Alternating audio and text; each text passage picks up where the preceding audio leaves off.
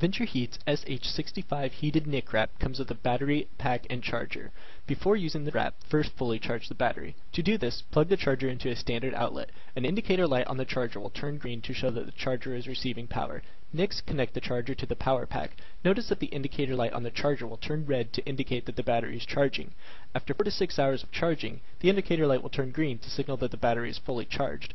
Batteries should be fully charged before each use, prior to being stored, and at least once every 6 months of storage thereafter. To use the neck wrap, place the wrap around the back of your neck. Place the straps around your neck and one over the other to complete the velcro enclosure. It is recommended for the user to use the wrap over a garment to lessen the risk of overheating an area. To turn the heat on, press and hold the power button until a blue light appears. This indicates the maximum heat setting.